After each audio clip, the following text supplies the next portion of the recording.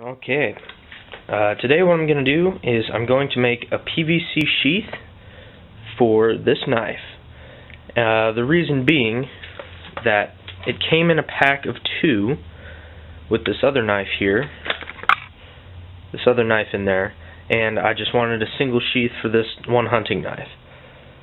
So basically what I'm doing is I'm starting out with a piece of inch and a half PVC uh, that I've cut. I cut about eight inches long. And then I've cut this notch down the middle with a simple uh, cut-off wheel and a Dremel tool, like this. Just a cut-off wheel.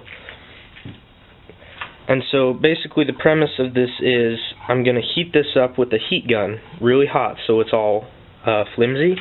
I'm going to lay it, lay it out flat and then I'll put the knife into the PVC, fold it over, and press it to mold it while it cools. Uh, I've never done this before, so uh, this could get interesting, but we'll see how it goes. Alright, as you can see, I've got my piece of pipe sitting there on that old grill, uh, and that's where we're going to heat it up so that we, it will lay flat and we can form it over the knife while it cools. So uh, a couple of things about uh, the heat gun and stuff. Obviously you're dealing with high heat so you're going to want to protect your hands with a good pair of thick leather gloves. Uh, another thing is when you're handling the PVC pipe itself you're going to want pliers. Uh, these are blacksmith tongs but I mean they're just the same thing. Regular pliers will work fine. Um, what else? Oh, yeah. Let me get the camera off the tripod real quick. Okay. Your heat gun. When you're done using it, you're going to need a place to hang it because it's not going to cool off instantly when you flip the switch off. So, I have a little piece of wire hanging from the garage door to hang the heat gun from. And I have it kind of a good distance down so that the heat that is, uh, I don't know the word is radiating or something, coming off the end of the nozzle that's still hot. Uh, so it doesn't warp your garage door. You hang it low enough so it doesn't hurt the garage door up there. So yeah, uh, there's the plug over there. There's a PVC. Got place to hang the thing from. Got our gloves and our pliers. So we'll go ahead and fire up the old heat gun and see how this turns out.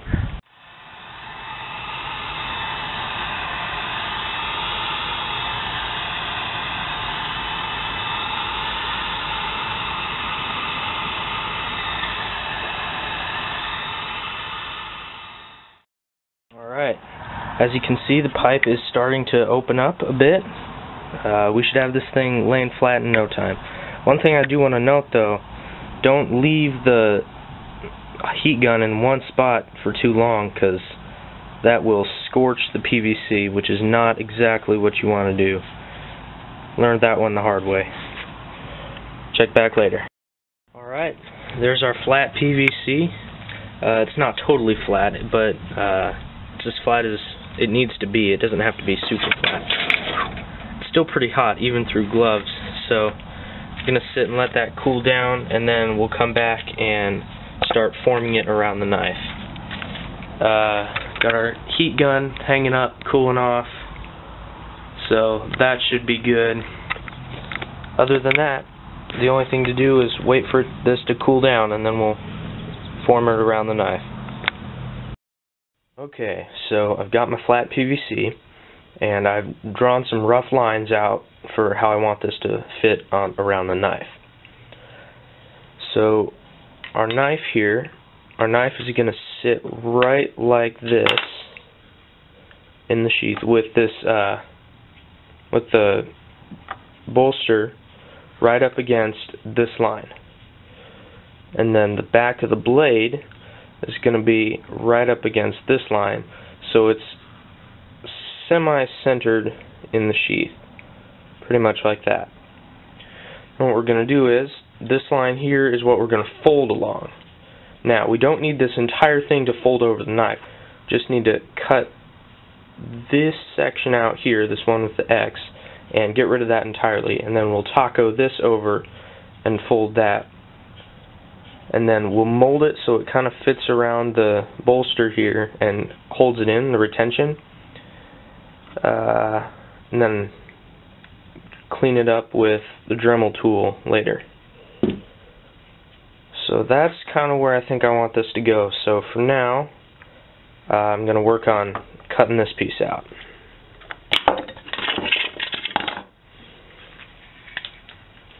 Let me move you real quick. There we go. Alright, here we go.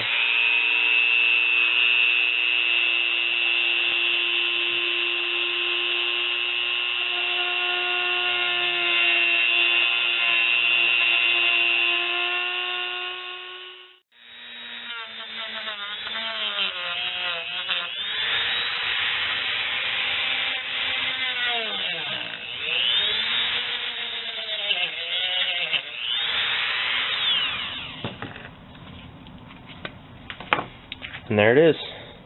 Corner cut out. Okay, now for the tricky part. Here's our cut PVC, and we're going to heat this up till it's flimsy again. Then we're going to set our knife in there just like that along those lines. And then to mold it while it's still uh, hot and flimsy, we're going to take that whole thing and put it down there on that towel. And then we're going to put another towel on top of it, and then on top of that, we're going to put that 30, uh, 30 pound piece of railroad track on top of it to weigh it down while it cools, and hopefully that should form the PVC around the blade and the, uh, the bolster there. So that's what we're going to do. Uh, this, we'll see how it turns out.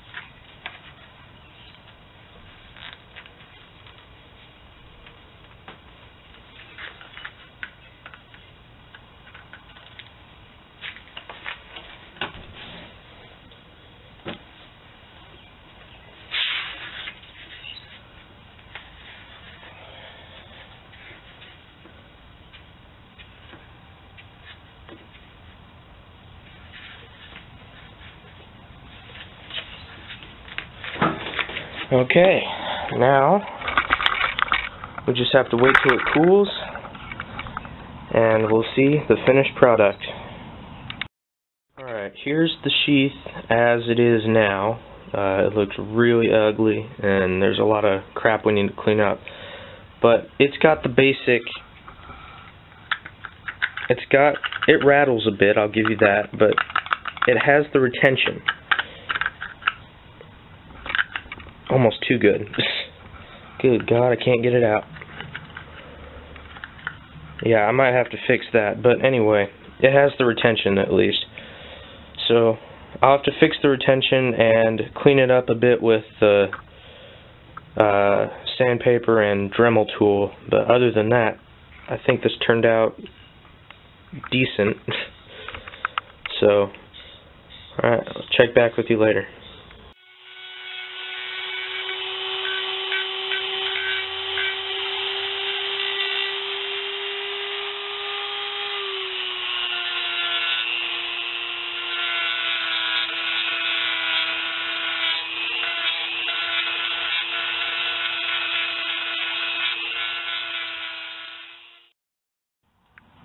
And here it is, the almost finished project. Uh, it I fixed the retention problem. There's almost no rattle whatsoever. There's a little bit, but and then comes right out, goes right in, nice and easy. Uh, I had to reshape it a couple times off camera, but other than that, it worked pretty nice. I rounded off all the edges, put in a couple of pop rivets here, uh, and then I'm going to add a belt loop up on top and probably paint it because it looks like crap right now. But all in all, I'd say it turned out really nice for my first uh, my first PVC sheath. So yeah, that's about it. So yeah, thanks for watching. Uh, we'll catch you next time. See ya.